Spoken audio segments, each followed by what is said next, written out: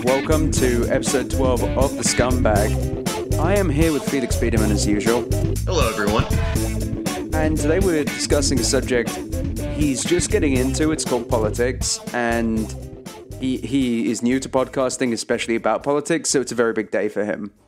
Yeah, I have uh, lived my entire life not really known what politics are, but uh, this election has gotten me into them. I've learned a lot. Um, despite this being the first election where I wasn't either on probation or parole or in a juvenile hall, uh, I've decided this is the worst election of my life. I would like to unplug 2016 and plug it back in, please. I would like to reset 2016, and I'd also, if it was a TV show, like to recast it. I mean, I know I can't be the only one thinking that. I feel like we're in the season finale of 2016, and we're on the, the, the uh, first down. Yeah, and uh, the coach is mad. But this is this is really what we're getting into, which is I have I've now in I've been in America for let's say three election cycles. I've been on the edge of one. I was it's still and I've been here since 2008, but I was here a bit before that, so I've kind of seen the run up. I remember being here in I think it was 0506 and seeing the kind of Hillary run up to wanting to be the Democratic candidate. And I was around when social media and Twitter were discussing Obama's second time around. And this this election appears to have brought out more neuroses and insanity in people than really any event I have seen since. Yeah, I mean, uh, this is I don't know. We may be we may be in a bubble because we uh, we have to look at a lot of members of the media more than the average person does. Uh, but I have never seen people act as disgustingly in an election of my lifetime. Outside maybe 2004, that may have been the dumbest election of my life. Uh, this one's pretty up there though. Yeah, and it's it's one of my favorite th- one of my favorite things about Twitter and Facebook, and that's the one thing as well. It does cross that divide. It's one of those rare subjects that does like it's the election and sports that really does it. But my God, everyone, everyone's getting in there, and everyone has remarkably similar opinions. And I don't mean like Trump is bad. It's like they have the same jokes and the same statements, and they all there's this like repeti- there's this weird repetition to the discussion of the election that just confuses me. It ju- it's just it gives me a headache some days.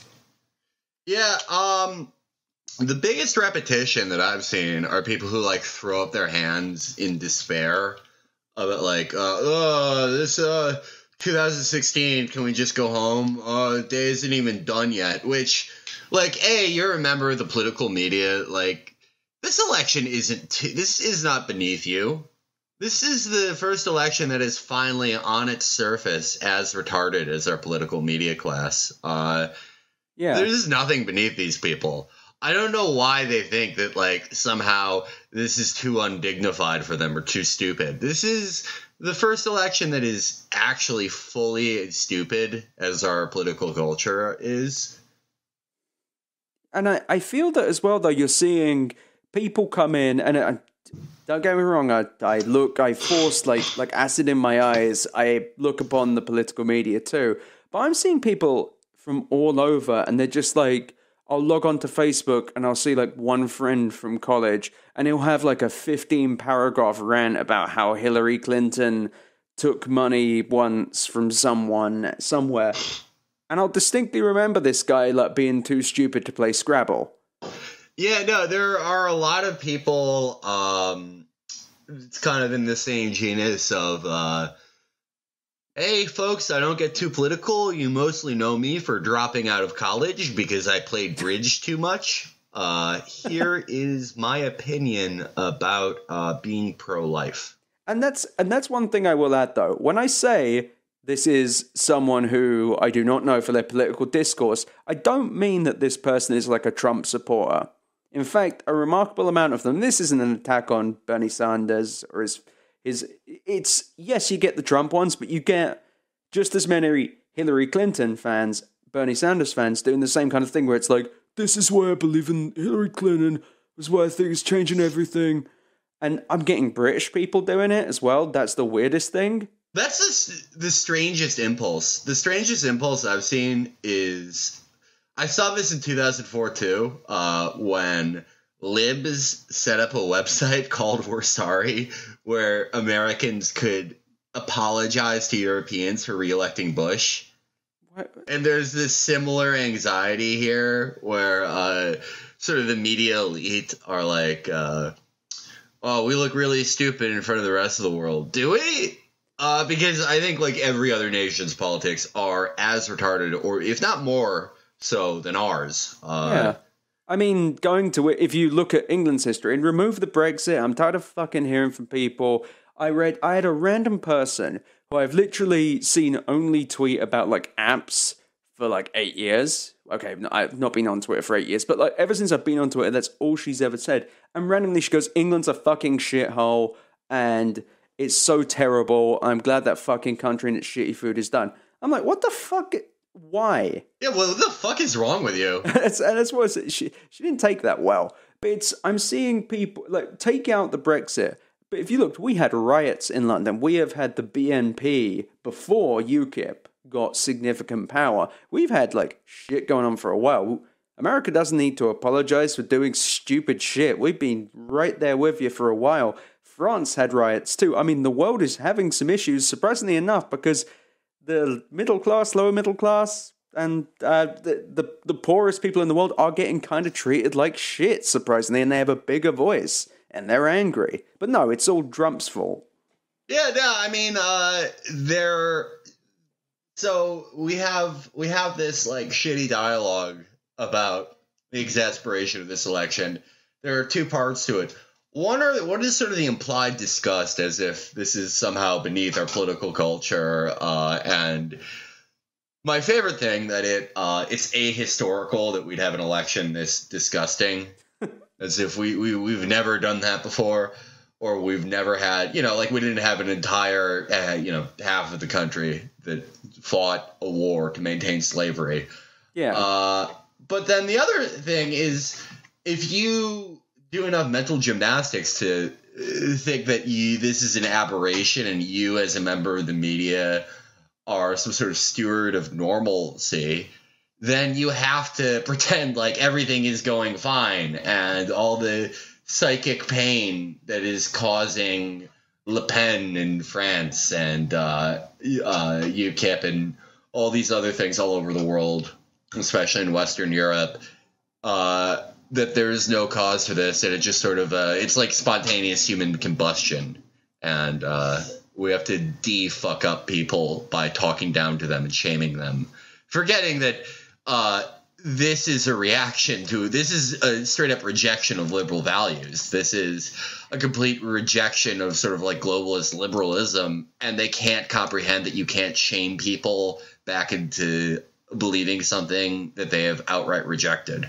And it's hilarious as well because people are, and I'm and I'm just going to address this head on. This whole Ken Bone thing is being brilliant to me because it's amazing in how people are acting like this has never happened before. That there is, yeah, sure, we haven't had the virality quite that much, but I seem I seem to remember the Conservative Party dragging out Joe the plumber. I'm surprised. Yeah. Had had he been a Trump supporter, they would have absolutely picked up Ken Bone. He would they would have paraded him around like a Christmas tree. And everyone's like, "This is the first time this has happened. The random guy has been it." No, it's not even close to the first time. I I wasn't here for the Bush uh, situation, but I mean, I mean, had Ken Bone actually chosen the side, whichever side it would have been, they would have picked him up. I kind of, and and I consider myself far more left leaning, but it's like I kind of wish he would have voted Democrat just to watch as like the Hillary campaign like grabbed him. It's like, yeah, Slay Queen, Ken Bone, and then they would have found all the Reddit shit where he's like Trayvon Martin got what he deserved. And just watched as they desperately tried to like, like say, "Oh, I'm sorry." That would have been kind of funny. Uh, but like I, I saw this coming because uh, you know when he came up there and he's like, "Oh, I don't know whether to vote for Clinton or for Trump." Well, I mean, I imagine if you're undecided on voting for Trump, you're still quite open to the idea. I imagine you have some like weird racial opinions. Yeah, or like, and you Like, yeah. And if you look that, and and the great thing as well was watching the liberal people I know desperately trying to pretend they weren't just laughing at the fact that he was super fat and like he wasn't even that fat, but like they were clearly making those suggestions that he was like a fatty fatty no mates and he had like a tight sweater on. I saw tight sweater said a few times during it and then it disappeared into the ether and they were like, "Oh, we were laughing at his name." Laughing. Oh, it, it's it's uh, Carl Degler. That's why I'm laughing.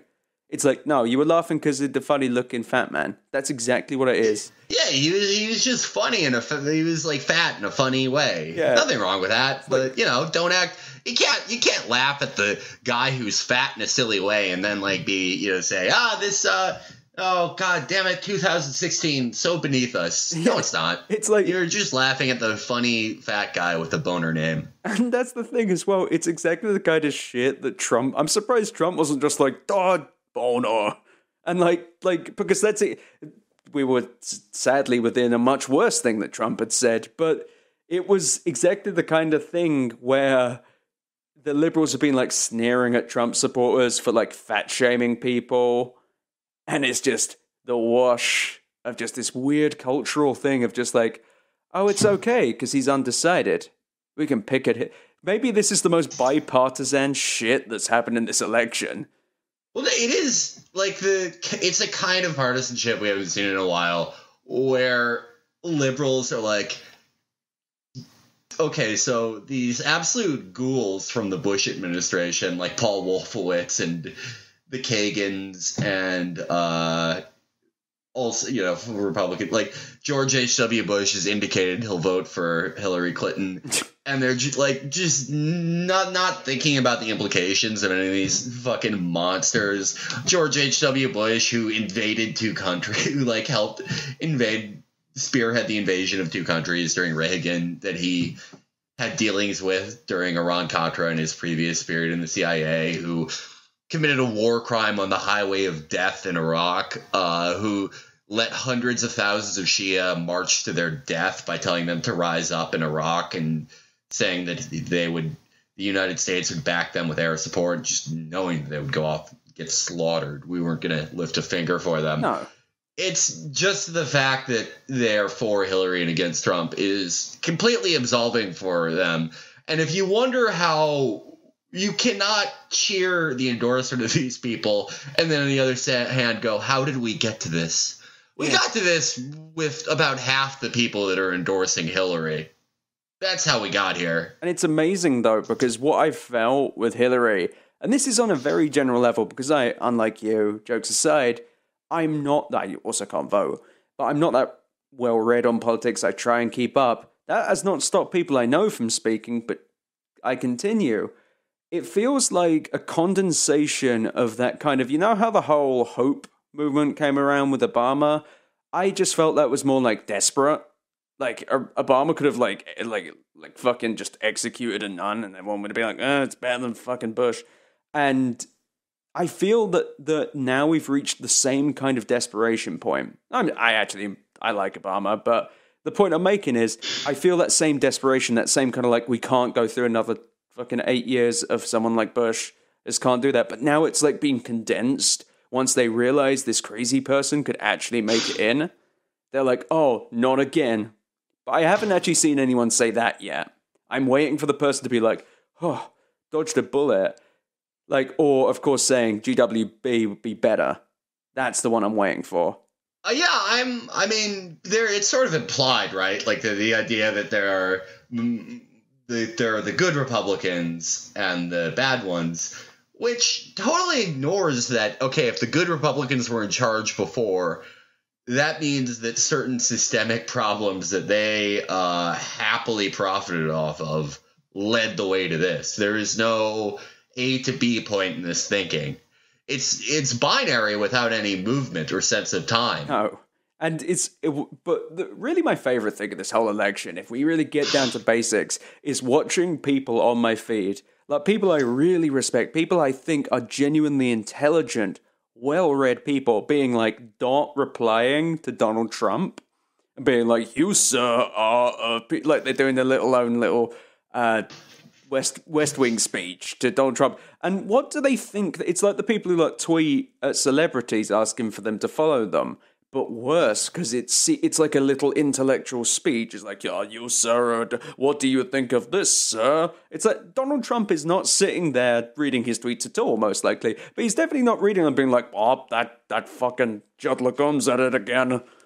Yeah, Trump is not losing any sleep over Judd Legum. Uh, or like anyone else. People, people, no one is, no one is. But uh, the live, uh, talk about a chauvinist viewpoint. People who exist in the liberal world think that everybody acts on their motivation, their same motivations. I mean, these people, these sort of like liberal media guys, are probably more motivated by shame than anyone in the world outside of maybe ordained priests, but uh, they think because their driving animus and their beliefs and their lives is shame that everyone else operates on the same thing, and that Trump, who is this disgusting fucking rapist prick who cheats people out of money and like brags about not paying taxes and screwing people over in deals and all this time and just you know calls all legal immigrants rapists and says we need to ban muslims. Like this this guy you're gonna shame him? Yeah he's not gonna read you have no idea how this works do you? You have no idea how human beings operate it's like if you if you got up in front of trump somehow and like yelled like you're a big rapist over a megaphone he'd probably turn around and be like ah oh, you're a piece of shit Bob, yeah, and then go home and like jack off. He wouldn't care. He like he's like he is. I don't even know what he is, but there is something quite the terrifying part to these people as well is that George Bush, when you had his gotchas, when you had the Mitt Romney gotchas, when you had the McCain gotchas, they were always because they fumbled on policy or they did something shitty, and you had this moment of satisfaction where you were like, ah, my intelligence has beaten your intelligence, and I have found you. like all great internet arguments. And yeah. yet with Trump, it's like, thought I, I, I took a shit in a woman's mouth, but. And how do you respond to like he he's straight up, and this we were talking about this the other day. He has like done something truly fucking disgusting. He is like the disgusting things he said. I would almost be sure he's done. I mean, that's for sure. You got it. yeah. Gotta. Something, something has happened, and there's the, those reports. I believe them, but the fact that I'm seeing people being like, "Well, he's going to go to jail for this, or he's going to go. The, my favorite being, he's going to go to jail for tax evasion. That is like the holy shit, the ultimate, and it, that is across the board shit. I'm see, I'm seeing like rich venture capitalists say that, and I want to like piss myself laughing, but I can't urinate anymore.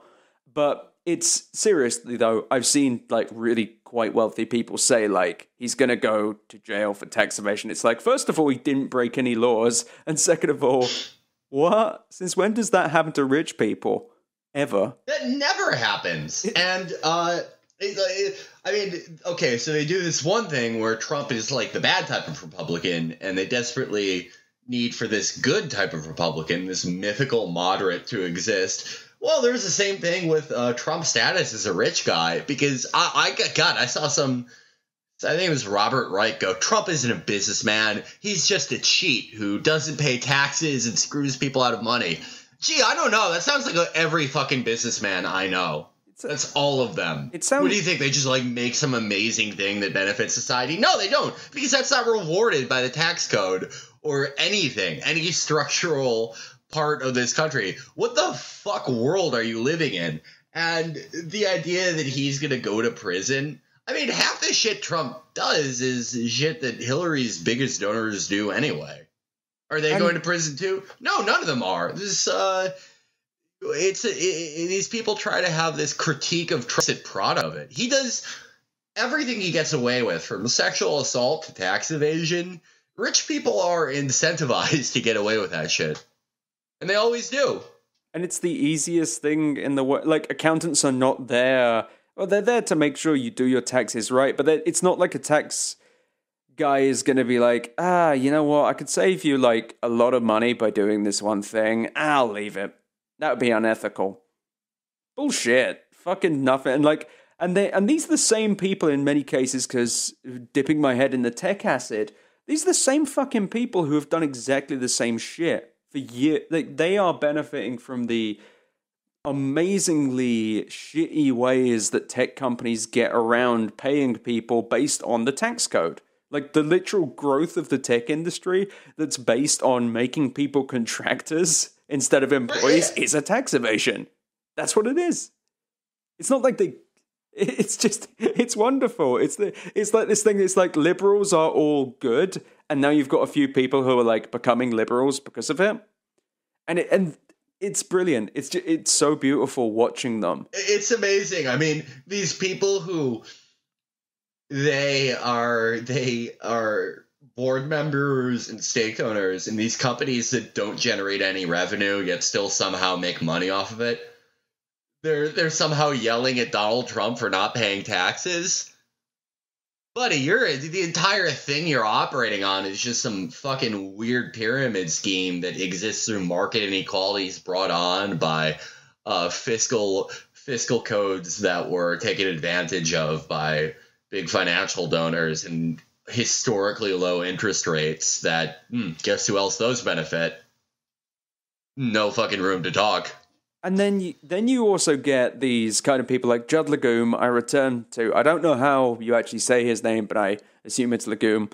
Um, his tweet from three hours ago is, of course, and this is the Ugh. election I will refer to now as the tweet storm election because that's all I fucking see.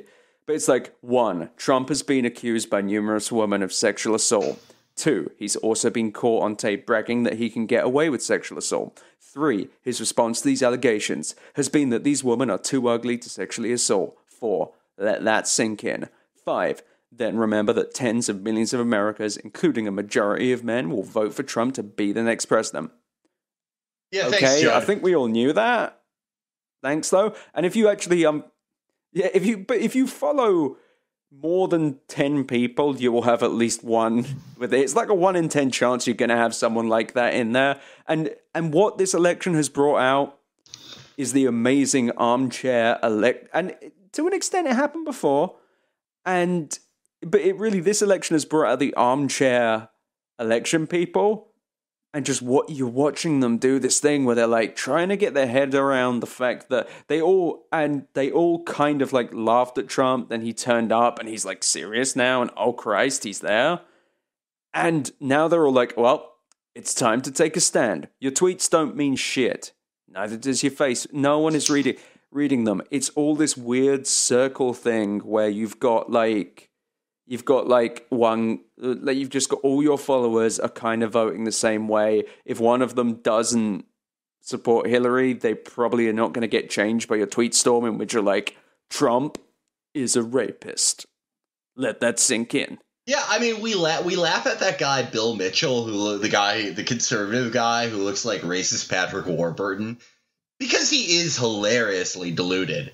Like he just he says stupid things all the time, and when yeah. people laugh at him, he's like, "Oh yeah, well I got five million impressions on my Twitter page, so I am gonna turn the election for Trump," and everyone laughs at that because that's ridiculous.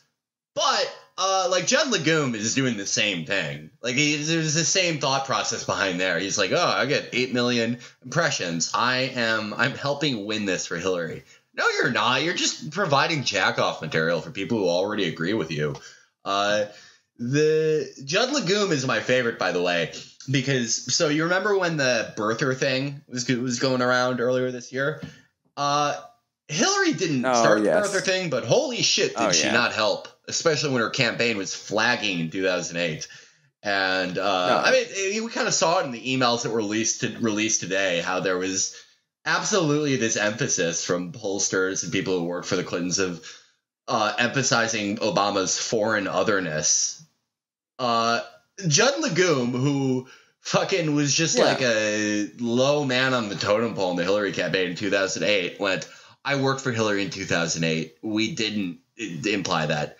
First of all, how the fuck would you know? Like you, Judd, you are an editor for fucking Think Progress. Yeah. I think if you were at the rung of power where you would have decided general strategy as far as going after Obama, you would be in a little higher position than being on a liberal blog. You fucking moron. Yeah. You wouldn't be a Think Progress or whatever. They're they're all the same. They all they're all Think blog.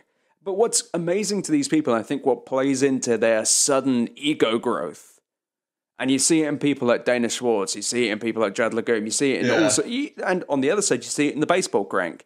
But you're seeing their growth because this is the easily the most, it's, it is the probably the most talked about election that I've seen because there's so many fucking ways to talk about it and people get so much out of like this weird masturbatory thing. But it's amazing. There's definitely this kind of em- it's a growth of their egos because people's natural reactions during an election, which isn't a stupid thing, or at least in theory it isn't, are like, all right, shit. It's kind of like when you need the sports scores, you go to ESPN okay, I need to know what the fuck's going on in the election. I'm going to go to whichever publication theoretically covers the election in the way I like it, because that's also step one. It's like choose a side, then pick the publication. And so they're going to these people and they've watched, so they've watched it. Initially, they had their just their bump from the election, but I'm sure, and I'm basing this because this is scumbag, we don't do research, but I'm guessing they had a huge bump in following around this election as people got more desperate because it's the same thing as worrying about there being another Bush situation. It's this kind of this fear meant that they all came in. They all came in and they were like, "Oh, we need to go to the the experts like uh, Nate Silver." Oh shit, uh, maybe not Nate Silver. Uh, Judd Legum. Oh well, he's saying things that are very, very hard to disprove because they're also things already said by other people, and he's saying them in a very powerful sounding way. That's that's powerful. I'm going to retweet that. And so these people, and it's the it's a feedback effect of these people get more retweets, so they think they're more interesting, so they do more of these fucking things. Like Donald Trump is a tax evader, and Donald Trump molests woman. Think about it, and it's you. Of course, it's going to get a bunch of retweets from people who. I mean, there's nothing wrong with. In fact, it's good that people are spreading that message. People should know, but it's not like they're spreading it to people who don't. Yeah, I mean, look, In fact, quite the opposite. Donald Trump is absolutely going to lose. He is going to lose for many reasons. He's to lose because he has alienated women since he announced his campaign and sort of got off. Uh, you know, the first big moment of his campaign after calling Mexicans rapists was uh, making fun of Megyn Kelly for having her period. Uh, and he will further has lost women because he is a, a, a rapist. Um, he will lose because uh, he is going after a demographic of people that is being eaten by other demographics. He will lose for many, many, many reasons. He will not lose because of the media. The media has been very aligned against him, which I don't think you can criticize them all that much for. But the media is as incompetent as we have always said it was. And they're going to get the idea that their complete alignment against Trump is what caused him to lose. They're going to think that they defeated racism, which is fucking hilarious. Uh, people hate the media more than they hate Trump. And it, if the media affected this election as much as they like to think they do, Trump would be down by 40 points right now. It wouldn't be, you know, six, seven point race. What I think what they don't want, want to admit though is that yeah, if they did affect it in any way, it's the way they don't want to like, which is when they didn't think Donald Trump was serious, every fucking person, I was guilty of it, sure, but a lot of these sneering media types on both sides were like, yeah, look at the funny Trump thing now. Me. Oh, he, he's talking about small hands. Man, he's never going to make it.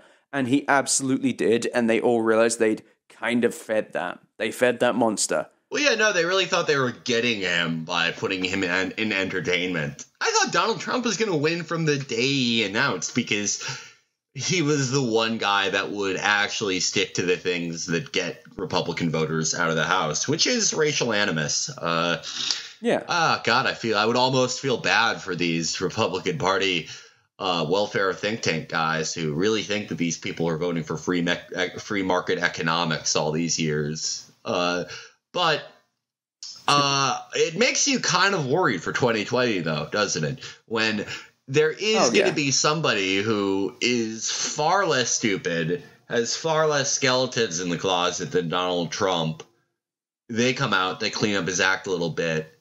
Four years of Clinton, there's absolutely going to be an economic downturn. Just looking at what has to happen with the interest rates alone, uh, mm, the ACA is falling apart because it's a piece of shit. There might be Yep. massive, My plan went up massive- twenty three percent. yeah, yeah, it's complete. I'm probably not even gonna buy uh, insurance because you actually they do not enforce you paying the Obamacare tax. Uh, so I little Nice. little note to everybody. great news. Little note everybody uh, wondering about that. You don't actually have to pay it. But uh, more unrest in the world as the Saudis killed hundreds in a triple strikes triple tap strike in Sana'a, Yemen, and we're heavily involved. And Hillary wants regime change in Syria. Uh, the world is going to be half on fire after four years, and anyone who is ten percent less dumb than Trump will probably win. Uh, and the media is going to try the same shit they did in 2016. And holy shit, I think that's all they have. That is all they have. And holy shit, is it not going to be enough? And I've and I've actually on on Twitter I will not engage anyone in a conversation about this. Like I or at least I try and avoid it. But I'm seeing people just and I, I consider myself one of the in this category of out of their league. Like unless it's something that I know, I'm not gonna approach it. Or at least I'm not gonna approach it for more than like a tweet. But like I am seeing people I'm seeing people comment on situations with a degree of complexity they shouldn't. Like people talking about tax in general. Like I've seen at least 15 people in the past, let's say two weeks, talk about, oh, uh, God, has it been that? How, however long it's been since that New York Times story, it's probably like yesterday and it's just everything feels so long. But everyone's like suddenly an amateur accountant now. It's like tax evasion. That's what he did. No, he manipulated it. You don't want to admit it because that's that would be a bigger fucking deal to deal with. And people are like, Brexit's all about racism, and you know, uh, Britain's going down the toilet. Britain's already, they are fucking in the water. The pound is like a dollar twenty-two now. That is a scary fucking sign very few people want to talk about because that is a huge economic worry. That is the kind of shit that will cause a global recession. But no, it's definitely about um, Trump and like whatever. Like it's it's definitely the fact that Hillary is going to change everything. She's going to come in. The world's going to fix itself magically. Definitely, the Brexit's not going to happen, even though it's absolutely going to happen. And basically, the Brexit's going to happen, and by looks of it, and this is off my own stupid knowledge, and I realize I've trapped myself in a conversation about politics for an hour and a half, but it's looking like it's just going to shit all over the world, and everyone's going to like, like Clinton will probably be like a re- like a kind of a Republican, I guess, from what I understand they look like, and it's like it's just like, and these people don't realize it, and they're like, I'm with her. I'm with her. Is he with her? Are you with her? I think Taylor Swift needs to be with her. It's like, why does Taylor Swift? That's the best one. That's the best one. It, apart from like all of the Ken Bone stuff. And by the way, if Ken Bone comes back from this whole sex thing, like his like sexual thing and his horrible like I don't know, I can't remember, is it felony tax evasion or something like that? Oh no, it's felony insurance fraud. And I guarantee, like, it, I will put like fifty bucks down. I'll donate to charity if this doesn't happen. Ah, Ken Bone's definitely going to be with her. That's going to be the thing. If that happens, that's going to be the most erect that the liberal media will be until Trump loses. And then they will have a bonus so hard it will like knock a glass off the table. You have an interesting point with tax evasion. Uh, they don't want it to. It's more attractive for them to say that Donald Trump committed tax evasion illegally then the truth is, which everything he did was in this case legal. Because if you say that, you have to admit that the system is pretty fucked. It's pretty fucked to allow that, and yeah, people really are not want to uh, level systemic critiques it never seems to be the right time for them. Uh, people will, who are sympathetic will go, I am sympathetic to this viewpoint, but now is not the time. Uh, you'll wait a year from now. Well, it's the first year of the Clinton presidency. She's trying to enact her agenda of what? I don't know, but she's trying to enact it. Now is not the time. A year after that, this is a midterm election. Now is not the time. A year after that, it's a year before the presidential uh, reelection campaign. People will now is not decide. the time. It's never the time. No. It's never the time for people because they don't want to look at it. They don't want to. They don't want to uh, examine the system that they pretty much completely benefit from. Yeah. That these talentless people who are only in their positions because they follow any number of rules. They don't want the rules of the system to be questioned because they're completely gormless, uninteresting fucks, and they get to make a nice upper middle class living uh, just by their knowledge of the rules of this existing, the confines of the system. and it's it's really weird as well how this it, it's it, it's bringing up these issues that people discuss just like every political campaign for like 2 seconds each and it's great because this election has really allowed everyone to go into their full scale political neuroses mode which means they go through okay women's rights racism police uh crap uh tax great cool what are my opinions and no one's okay with just being like, and I'm proud to say, like, I'm ignorant on many thousands of subjects. These people, they, it's like, um, let me tell you my own personal story about this. My racist uncle, Jed Fuck, he once said that black people all steal. And I turned to him and I said, Jed, there's a reason. There's a reason we called you Jed Fuck, which is one name. And it's because you are a fuck. And everyone clapped Everyone just clapped because my family are all good liberals, apart from my racist uncle. Everyone got a racist uncle as well, somewhere. Like he pops up every four years to vote. Yeah, no, it just seems like America is mostly racist uncles. Uh, that everybody clapping. I don't know what that is. That is some bizarre internet pathology. I think it started on something awful whenever it was like a pretty uh, subtly racist story about a IT guy shutting down a black guy who was talking during a movie, uh, which obviously did not happen. No.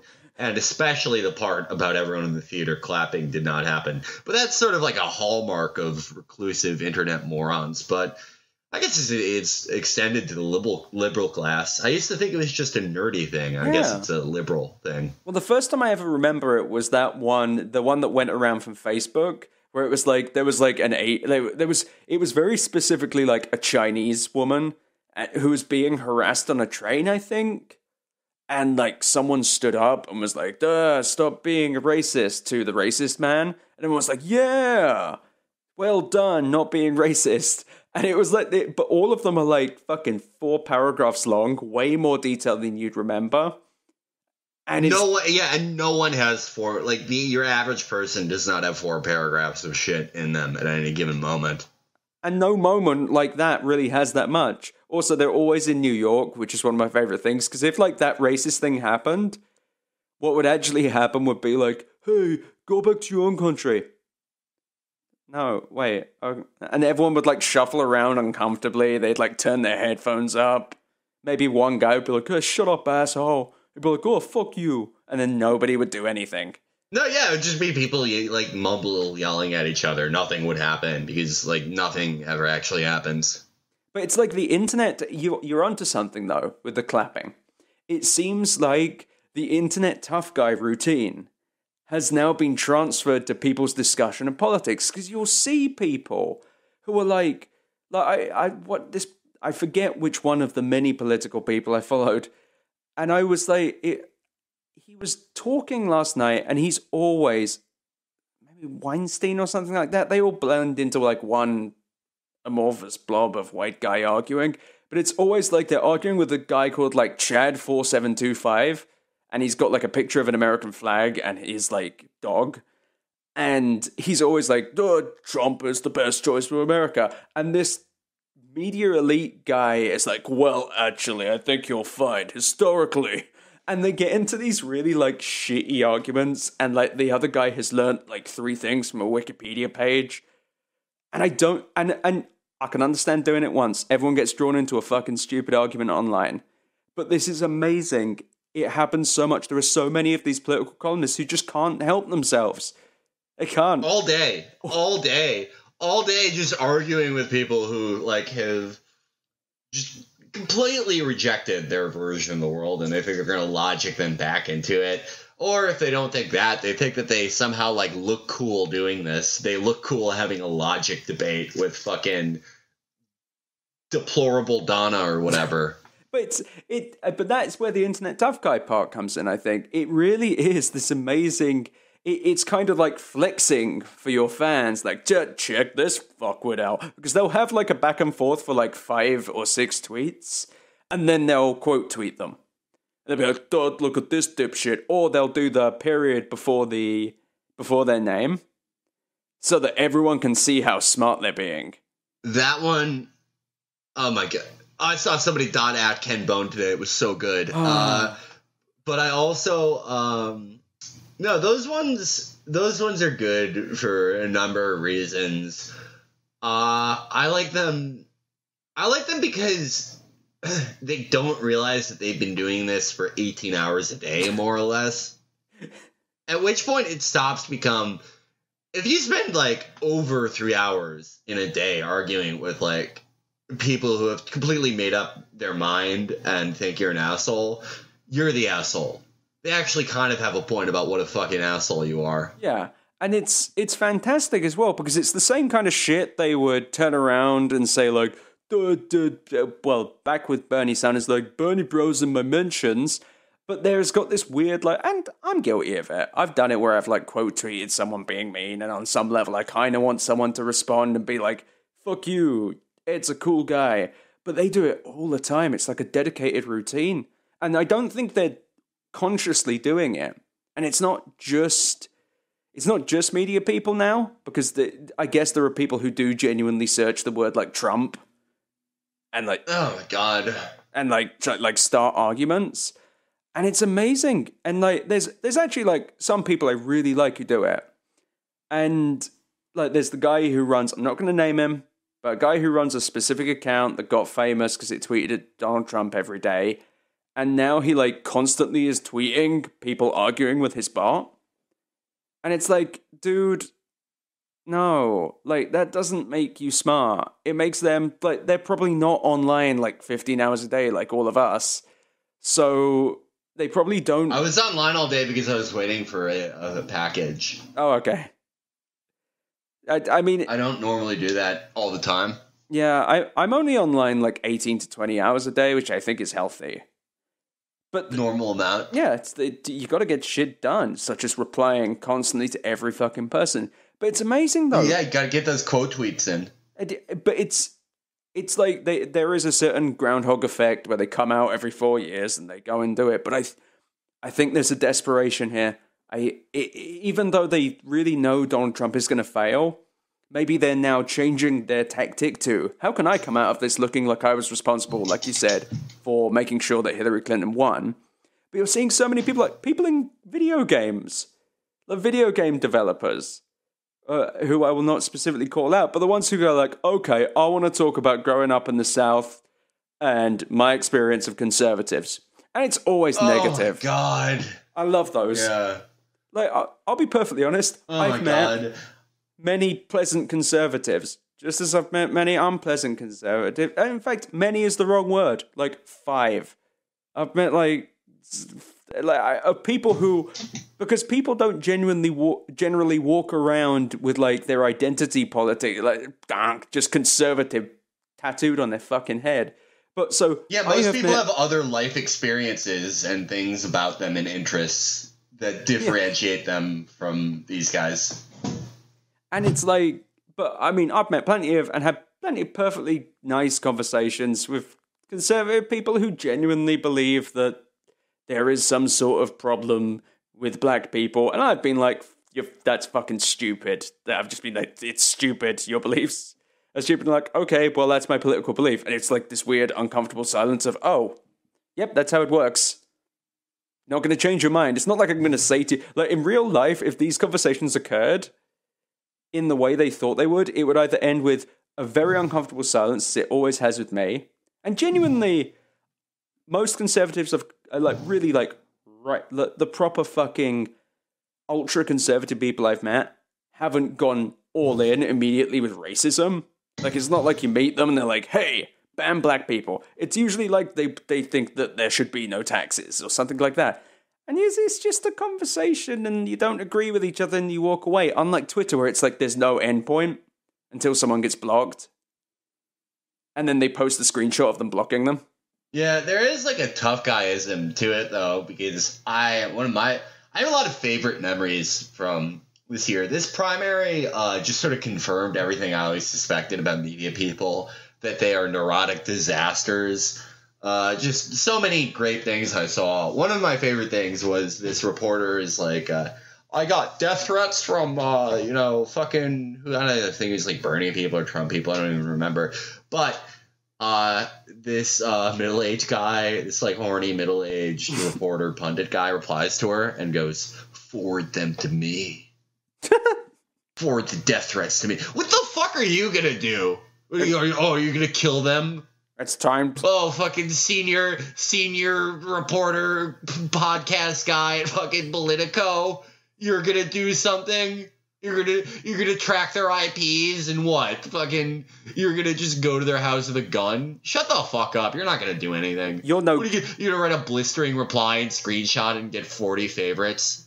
Fuck you. Yeah, it's just there's not Fuck gonna. all of them. Holy shit, what a bunch of fucking morons. Like they they're not just afraid of everything all the time. Like they're gonna confront all the evils of the world. Fuck you. Like most people, me included, if someone was like in real life, like I'm gonna fucking stab you to death, I'd be like, shit, no, I don't want that. Yeah, don't do it. yeah, I don't. Uh, no, thank you. It's just like fuck. No, thank you. be horrible. Like, I, I genuinely Yeah, don't. suck.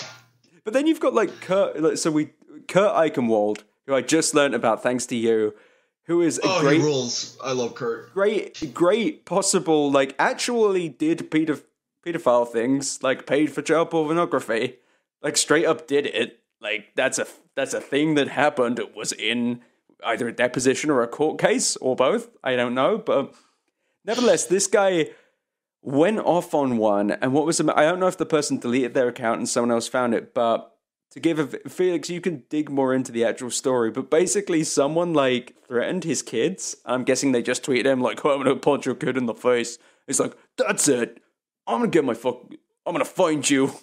Maybe Yeah, well, what happened was, well, Kurt, I, I don't know what it is with people named Kurt online. I think there's just some sort of they're amazing. Yeah, they rule. They're the best people online. Uh, so Kurt Eichenwald, his he wrote. Newsweek honestly should have taken down the post he wrote because it was riddled with so many errors.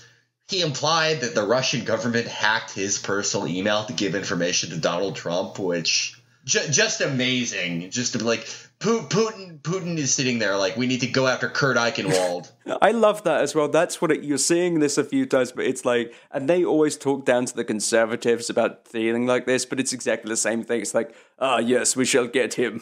Ah, we have found Kurt. It's the same thing. It's the same thing as the conservatives who think that ICE is going to target them. They live in Oklahoma. and if they take But- that, a pic of their a pic of their Glock, ISIS is like Al Baghdadi's going to be like, ah, shit, that guy. Oh, we can't go after fucking Rifle Jeff 1962. but uh so Kurt, you know, he just acts like an asshole all the time. Uh and people, you know, for more lefty people are arguing with him because he's agitating this sort of Cold War bullshit. Look, no one's a fan of Russia. I think Putin's a piece of shit. I but I don't want further diplomatic tensions with him because they have the world's biggest nuclear arsenal, and I don't want to play a geopolitical game of proxy wars over this. I don't care. But anyway, Kurt, people met, you know, say to Kurt to screw with him because he's an egomaniacal asshole. Uh, I'm going to email your wife, Kurt. You know, famous Twitter taunt. And because Kurt always, his head always goes to 11, he takes this as, oh, the Russians are threatening my wife. And so, Glenn Greenwald. you know, but, yeah, Glenn Greenwald is threatening. Glenn Glenn Greenwald has instructed these people to email his wife, I guess, uh, according to Kurt. And Kurt never wanted to back down. It's, it's like the movie Never Back Down, which was also about a stupid child, uh, similar to Kurt Eichenwald. Uh, he, he says, I ruin people for a living. Are you fucking Liam Neeson? Shut up! You're a fat old reporter who can't even get a story straight. You went to Newsweek because you spent two grand on a child porn website to make yourself the center of a story. Fuck you. and All of them. and it's great as well because like it, and these people are uh, to your own Twitter handle. I wonder if this is the election that brought about by your logic. You've proven my point because I've never It seen brought it. it back, definitely. It's a beautiful because that's exactly what every response from these and the and what's great and we've always said it. Opinion columnists have the easiest job in the world. They really do, and it always brings them out the woodwork when something weird is happening, and they always have to have a fucking say. And Newsweek, which by the way, like cut like so many people, it fired so many fucking people. And now you're gonna watch the media like Rolling Stones fucking firing people, all sorts of like the Guardians fucking firing. All these great reporters are being fired. The bubble is bursting. Yeah, and but It's all going great, to hell. but no, don't worry. Kurt still has a fucking job. Yeah, this fucking weird moron with an obvious personality disorder who can't even keep facts straight. Well, yeah, no, this is the type of guy who gets rewarded. I, I hope he runs Newsweek in the future. I hope Newsweek uses its corporate credit to pay for child porn websites. Yeah, that's and that's the thing though. No one seems to be. I, if you want a an actual legitimate thing to bring up in this election would be someone who has written about a great deal of things about morality within this election and within elections past, literally paid for child pornography. He Pete Townsended, and he fucking like did it. That's an investigate. That is what Vice should be. They should have a report. of Vice, or I don't know why I'm picking on Vice specifically. Someone should be running a fucking story on that. They should be like, hey, remember this shit? Like this is bad. Like this is because there is a there is genuinely. It only helps. Yeah, you know what? It's not the right time. It's not the right time to go after Kurt Eichenwald, who's single handedly winning the election for Hillary. Oh my god, and- the way the way he acts like people uh, are, like undecided voters are reading his stories. No one reads Newsweek. Fuck off. And undecided voters, I don't know if there's any research behind them, what they generally do, but if you're undecided at this point, I can imagine you just not voting. Yeah, probably not. Yes, probably, probably not. won't go. You got some like shit going on. But what's really funny as well is this election is making people and going back to Ken Bone because it's great because it's a it is inherently a thing created by and promoted by the internet. It is a it is the most scumbag thing to happen in real life beyond him actually looking like Carl Diggler, which was just wonderful. And I felt that that this is this is literally giving a shout out to the person I'm talking to. But that that whole thing with Carl Diggler drinking two liters of water and eating ten spoonfuls of salt to hide himself.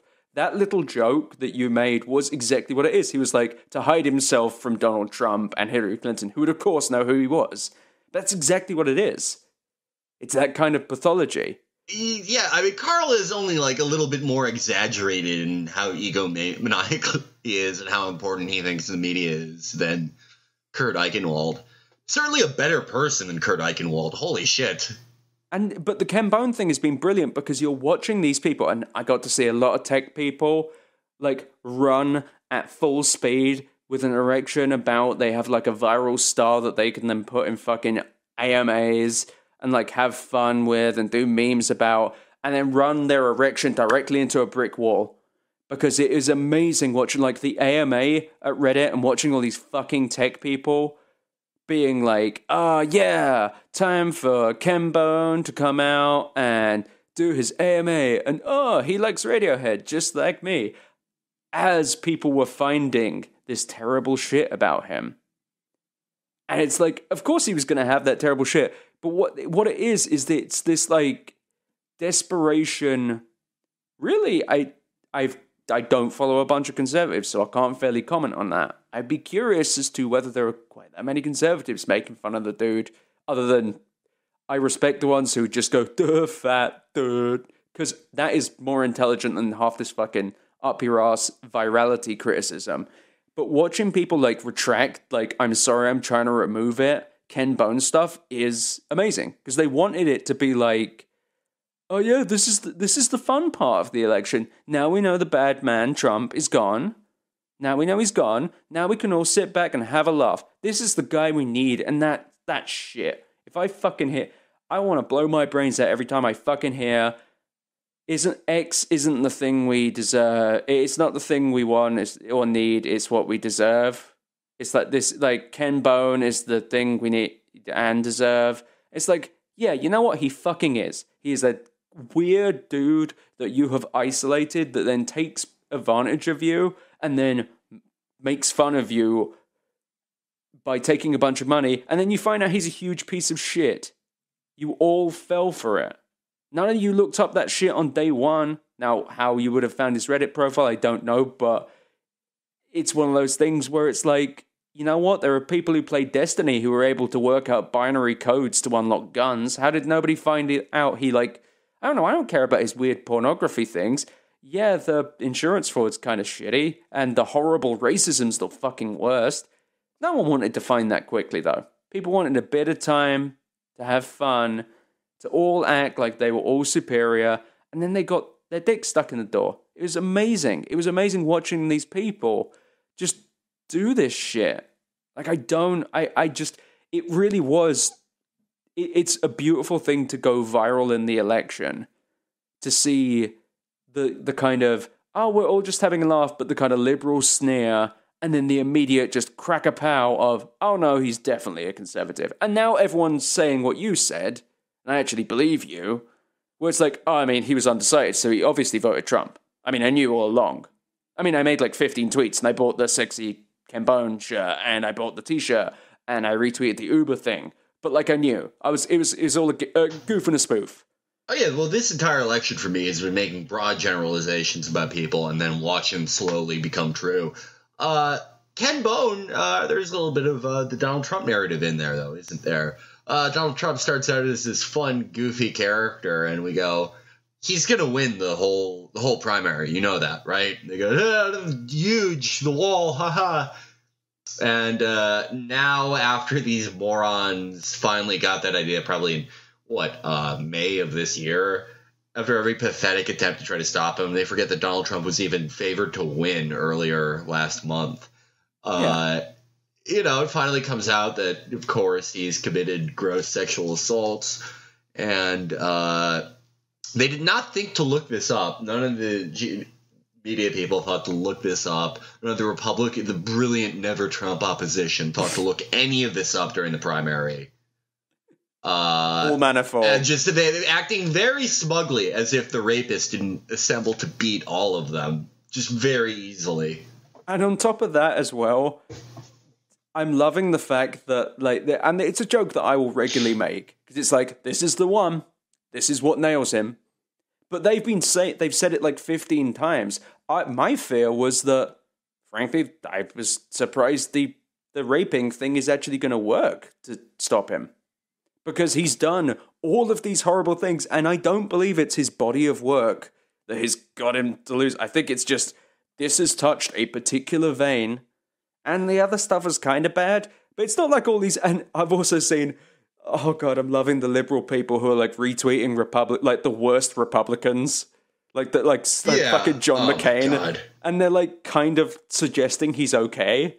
But it's like John Yeah, McCain. John, John McCain, John McCain, who happily funds militias in Syria who behead fourteen-year-old Palestinian children. yeah, he's This like fucking ghoul. I cannot wait for John McCain to die and all these liberals to cry co- crocodile tears. Like this fucking reptilian wasn't Oh. just a murderous cocksucker till the day he died. I like he was any better than Trump.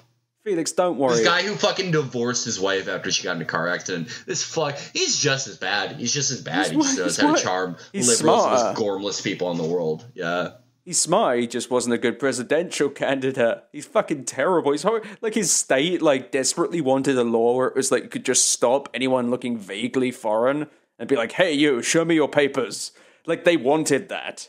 Like and and straight up, everyone's like retweeting like, "Yep." And they're trying to say on some level, "Oh, I'm just doing it to show that Trump's falling apart." No, no, they're falling for the same shit. They're kind of redeeming him. But don't worry, because my theory is that when Trump truly goes down the shitter, and I will not believe that's happened until it's done, it's going to be a case of everyone is going to flip on these Republicans and be like, yep, you fucking cowards. Like three months after it happened. Miss the, miss the boat, but they'll be like, here's the Republicans who are cowards.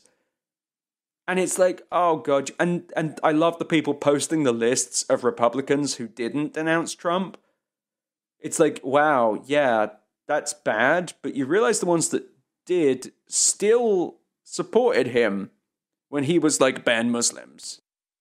Yeah, and they don't. Yeah, they they didn't. Do you think they they're denouncing him because they hate sexual assault? No, Republicans don't care about sexual assault. They happily defund Planned Parenthood, which sets up clinics for women to get rape kits and counseling after sexual assaults. They did it because they were looking for a stop to get off at because they knew Trump would lose. They're more afraid of losing their relevance, which would be to be clinging to Trump as he loses than they are of any principles they may have. Oh God, but no. you can really just sell liberals so badly want to believe in this sort of moral world that doesn't really exist that you can just sell them anything. And it's even the ones who aren't quite the, the more.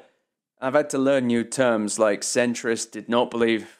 Did, I do not believe it meant what I mean. The people in the middle. Uh, the or leaning towards conservative, but the ones the conservatives who don't believe like don't allow women to get abortions and also keep them in the kitchen. Like those, like the like. There's a few of them popping up in my feed who are like, well, I wouldn't usually vote for Hillary, but this election is about more than that.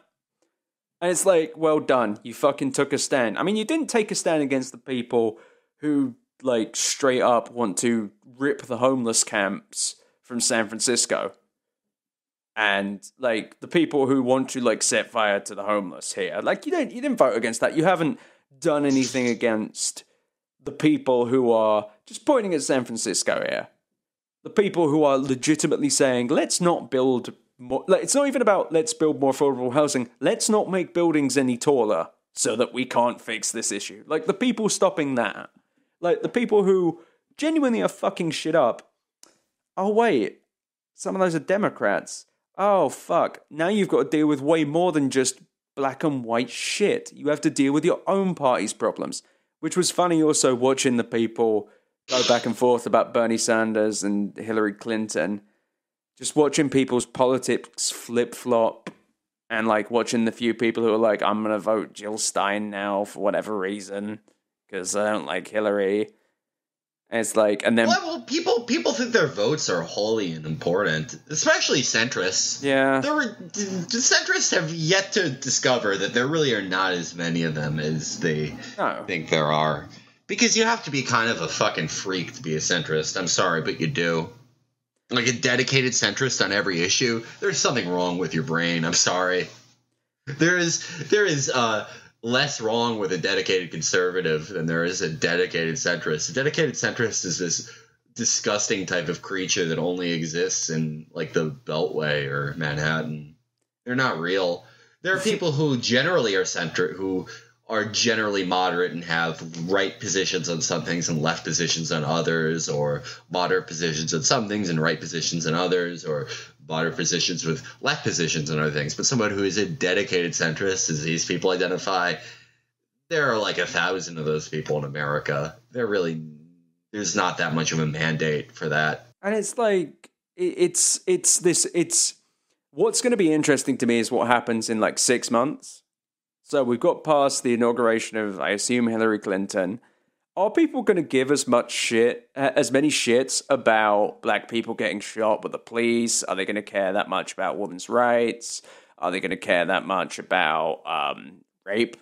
They're going to give that much. I have to wonder if this election is not just a very convenient time for people to give a shit about issues so they can see get into a general conversation because that's what it feels like. That's where the internet pathology is coming in because it's like people are discussing the election based on like one issue. They haven't read up on the and it, which is fair. I understand most people could not put. In fact, it's deeply unfair to actually ask someone on some level to understand every issue and make a fair vote. You kind of go off what you see and like try and work it out from there. Like it's like the election is inherently weighted against the people who, who like most people do not have the time, nor are they adequate, nor do they have things adequately explained to them. Certainly not online.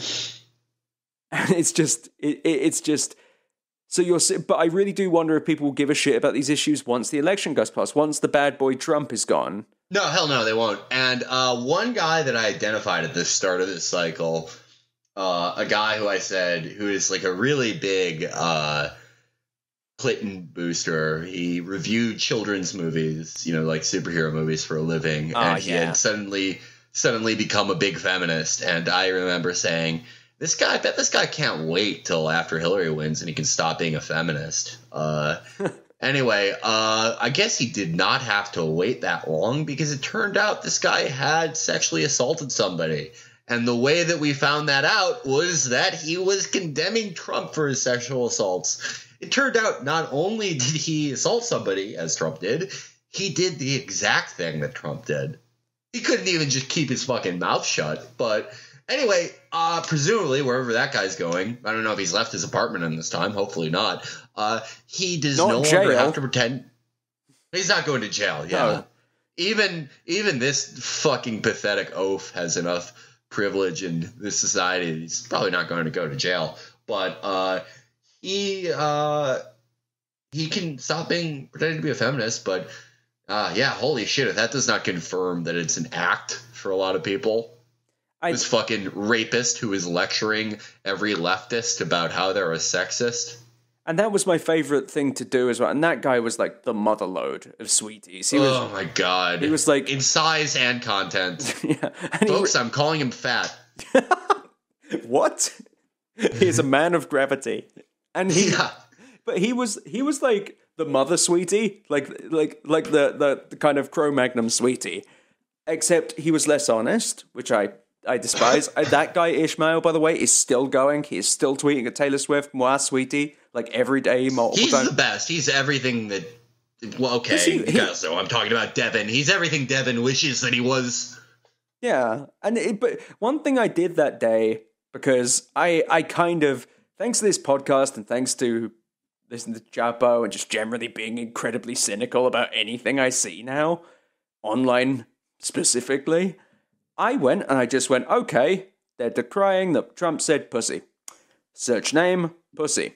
Ah, there it is. Found it. Post. And there were people legitimately responding with they were responding with uh that wasn't in private and they and i was like like lamau like thinking that they were joking. They're like no it wasn't fucking private. It's not the same thing.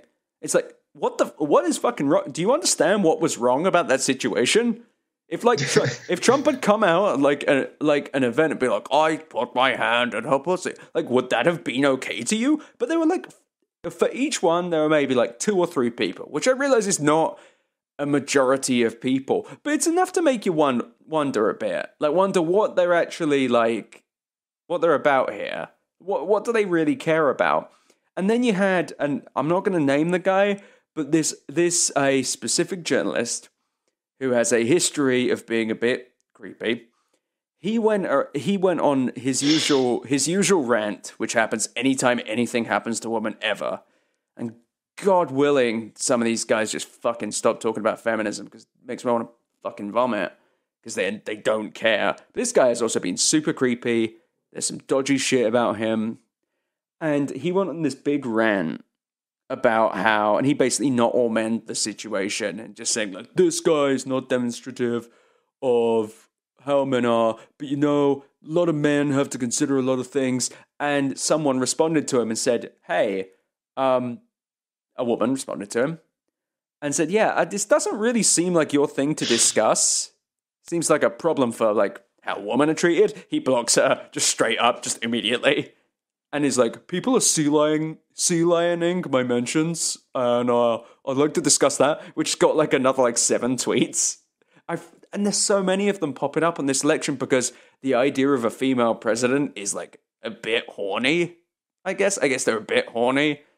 Oh, I think liberals like the idea of being dominated.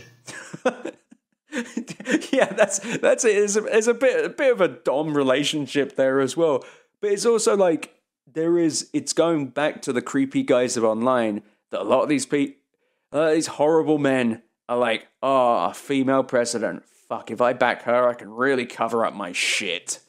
I can really be a good ally. I can be the ally that they've always wanted. well, our our culture here in America is quite influenced by Calvinism, but the other part, I think, liberalism is very influenced by uh, medieval Catholicism. in that, holy shit, uh, people really want to buy indulgences to get into heaven to. Uh, you know, oh my god, that's uh, it. Buy buy away the other part of their sins, which is just you know I don't know, getting drunk and tweeting "Hey" at every female reporter half your age, or in uh, on the other end of the spectrum, actual sex crimes. Uh, but wait, is yeah, there a t- is there a term for this? Because I think this is actually this applies to way more than just the horrible greasy guys. I guess you could call it like what you call it an indulgence liberal. Yeah. Well, but not just that. That's the a new idea, thing. The, the the people who would buy their way into heaven in like feudal times, they like pay the pope, and way past feudal times, I guess. But they pay the pope money, or they pay the church money, tithes or what have you, to like basically clean their souls. And I feel like the new version of that is not just these guys who are like, up, ah, female president, time to support it. Time that I support woman. Oh, not not woman in Congress though. Like uh, the the Ruth Bader Ginsburg, whoever she is. Notorious RBG, epic for a woman. Epic bacon RPG. Uh, but that, that's epic that, bacon liberals. Epic bacon liberals. But it's there is a real like this election has also been a great deal of a, a great deal of people like buying their way into heaven by jumping on issues like is it white people who are suddenly really fucking learned about a very small piece of black culture? Is it guys who are suddenly incredibly supportive of women's rights? Don't worry, that shit goes right off in like 25 days. All of this, like, they suddenly care about tax? No, they don't fucking care. Even if they're upper middle class, they don't care. That's a lot of caring you have to do. If you actually really want to change some of this shit, you're gonna have to, like, think about it and read about it you're gonna have to like do something. But a lot of these things, they are really it's like I'm gonna marry myself to feminism. Great, that one. That'll make me look good. This will clean up my sins, or this will make me a good person. It's it is it is a weird comparison, but it it fits. It fits very well, and it makes and it explains. Perhaps it's not buying their way into heaven, but it's certainly like cleansing their souls or making them a, a quote unquote good person by caring about if it's it from the very simplest level of being anti-Trump. And that's and it's you could even apply it on a greater political system. I I imagine there is a certain there's definitely going to be one of these these conservatives, these horrible GOP people who are going to say like this is God's thing, like this is God's will, or like I couldn't as a as a man under God because it's definitely going to be a dude who says it. And it's going to be this thing where it's like they are not voting for Trump, they're not supporting Trump because you know that's not what God would want. And I think even Arnold Schwarzenegger already went there. So it's like Arnold, who did the exact things that Trump thing, like exact, exact. Didn't he have sex with his maid, then claim it wasn't actually his kid, and then you saw the kid, and it just looked like he, you shrunk it Arnold Schwarzenegger? Exactly like Arnold, yeah, and he it was like a ton of women. And he, yeah, and he's he like has a history, but that's not important. We have an election, and that's the it's it's you don't want to like rip on. I didn't see anyone rip on him for that, even though he straight up like tried to deny it. Like, and and his kid is like also like thir- he was like thirteen years old and like could bench four thousand pounds, and like it's not it's not mine. It's just like it's your kid. but he's like horrible as well. Also, everyone's like Donald Trump, he's going to get rid. This is it. This is it for him. This is it. He's going to get done for this uh, this uh, molestation thing. Yeah, like Bill Cosby no, didn't. Yeah, what Bill happened Clinton to, didn't. What about Bill Cosby though? Remember that one when everyone was like, that, there was that horrible liberal moment where they had to make dislike a black person publicly. Oh, cool. No, they, we have like 70. That was traumatic for conservatives too, because Bill Cosby was always like the one black guy they could point to and be like, uh, see, that's the pull up your pants black guy. Uh, and, and, the one they could pay as well. And, yeah, uh, but he's disappeared. What fucking happened yeah. to him? Last mention I saw of him was when. Start, the rich people's trials have a habit of dragging on. Or disappearing. Disappearing. Uh, Eh, or Bill Clinton, or hey, look, any powerful rapist. uh, yeah. I, I, it's like it, it, it's watching these, and it's a. In all fairness, and I know this is a rare thing for me to be fair, but there is a lot of there are a lot of things to consider at once. But there is it's this.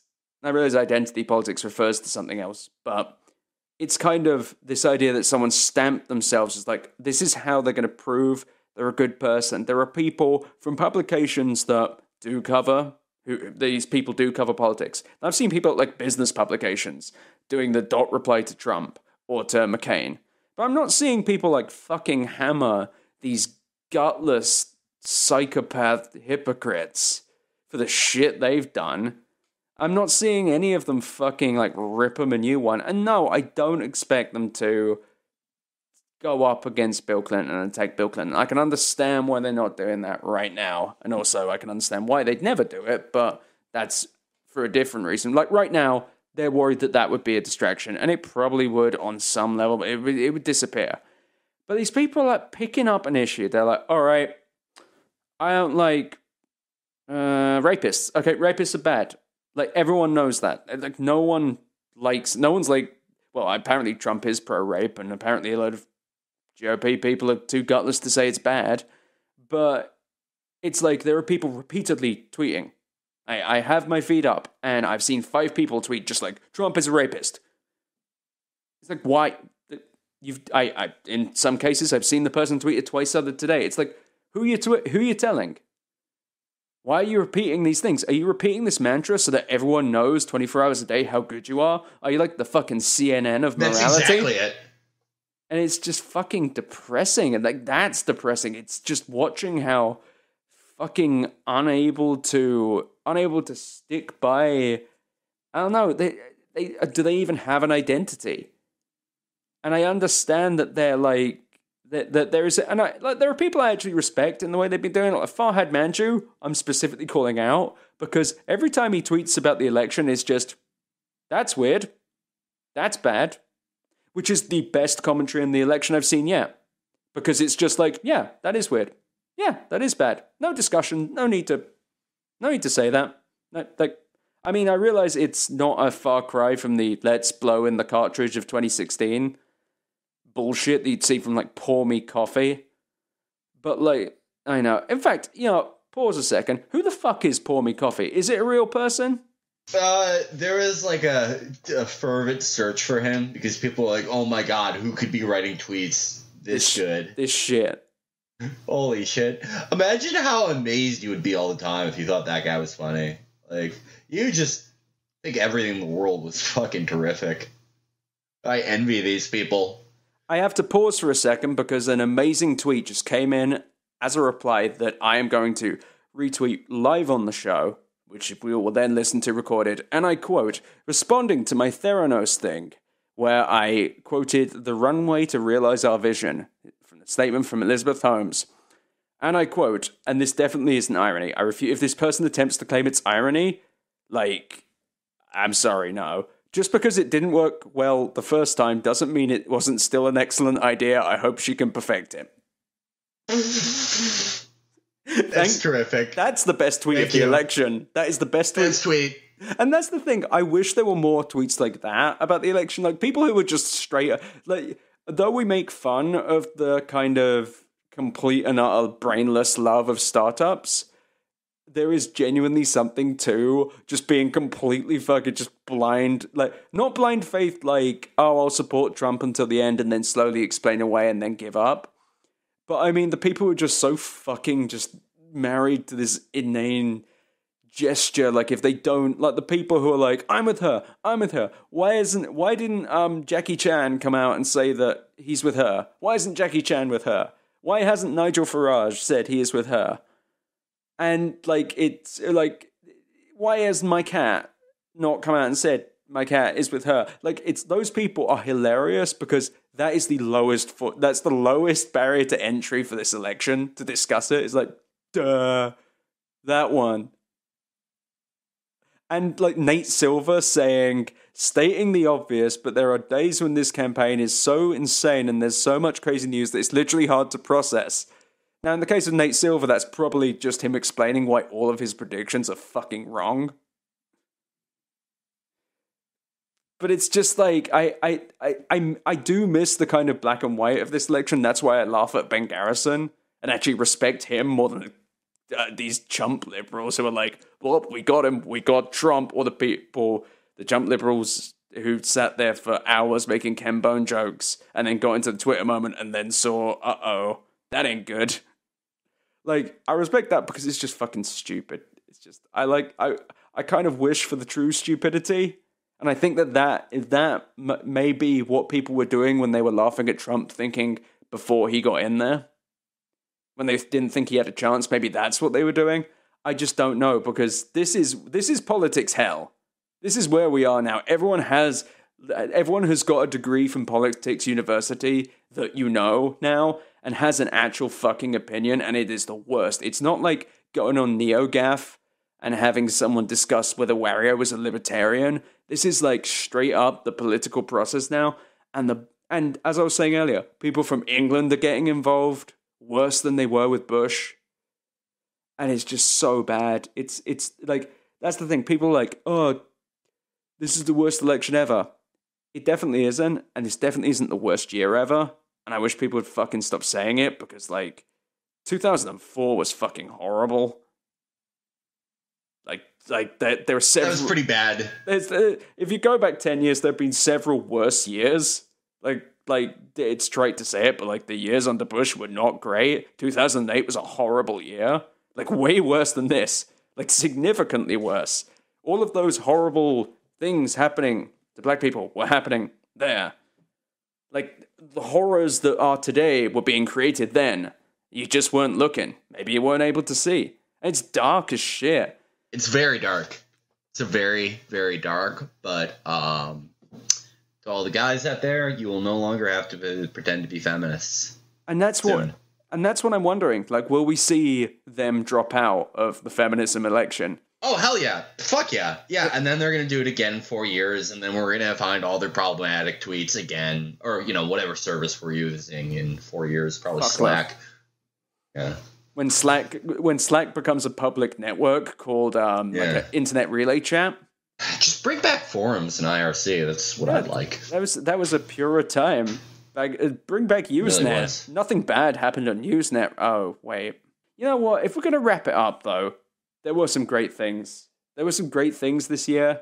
I really think. Not this is the last podcast of the year, but even in the last two weeks, we've really seen some amazing things happen that people have then compared, of course, to the election, such as Galaxy Note 7s like just exploding and watching people try and explain that and then compare it to Trump. And also the Soylent bars making people like shit their pants. That's the actual shit of the week, by the way.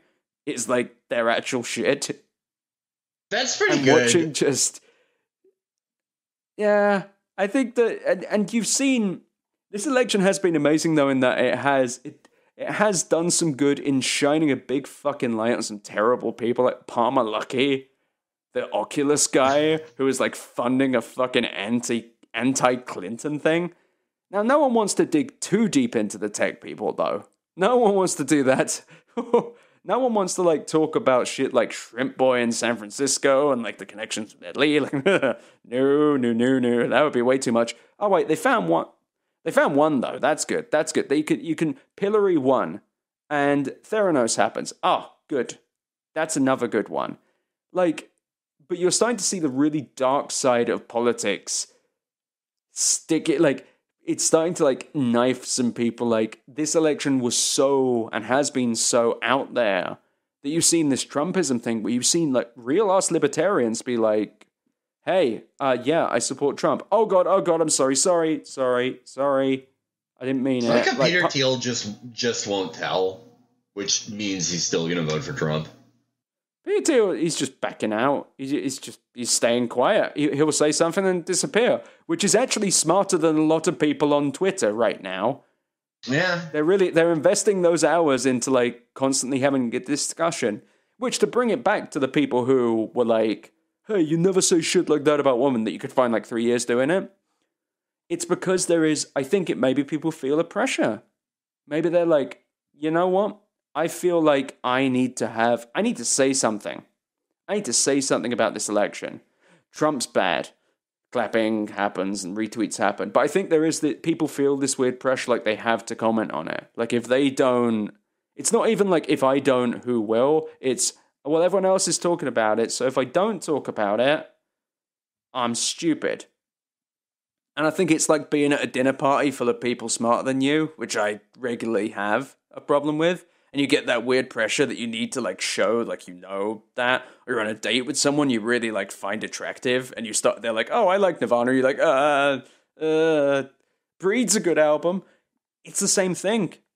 Twitter, especially, but Facebook as well, has pressurized these people into suddenly they must have this discourse. They must. And I think that's a good place to wrap it up there. I've I I really just think that we really do need to reset 2016. I think it'd be a really good idea if we just, you know, um, just control alt deleted it. And I think we should uh, unplug it and plug it back in. like I agree. I think that we really need to reinstall the operating system on 2016. And whoever cast this, whoever cast this year, I mean, just you you messed up, buddy. And I mean, to paraphrase the scholar Nick Bilton, if we are in a simulation, clearly there's a glitch. Just look at Donald Trump. Rackham. Election's over right now. Booyah! And that is a great place to close the podcast. I've been Ed Zitron. I've been Felix Biederman. Thanks again for listening to The Scumbag. Goodbye, everyone.